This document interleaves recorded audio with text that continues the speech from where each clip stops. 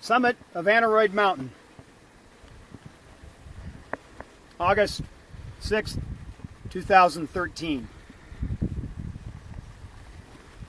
Looking south, west, south southeast.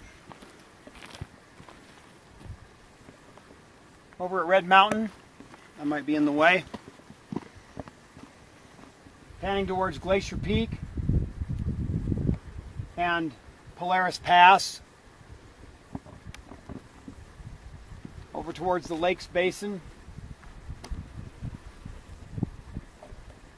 Off in the distance you could see the Matterhorn, Peak 9775, and then Sacagawea, where the mountain starts to get brown.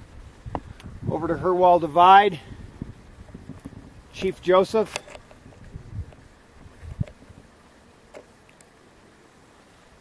or Joseph Point, then Hidden Peak, East Peak, and down in the uh, the valley you can see Joseph and Enterprise, and then you're looking up towards the last bit of Oregon and Washington, and then over towards Idaho. Lovely day.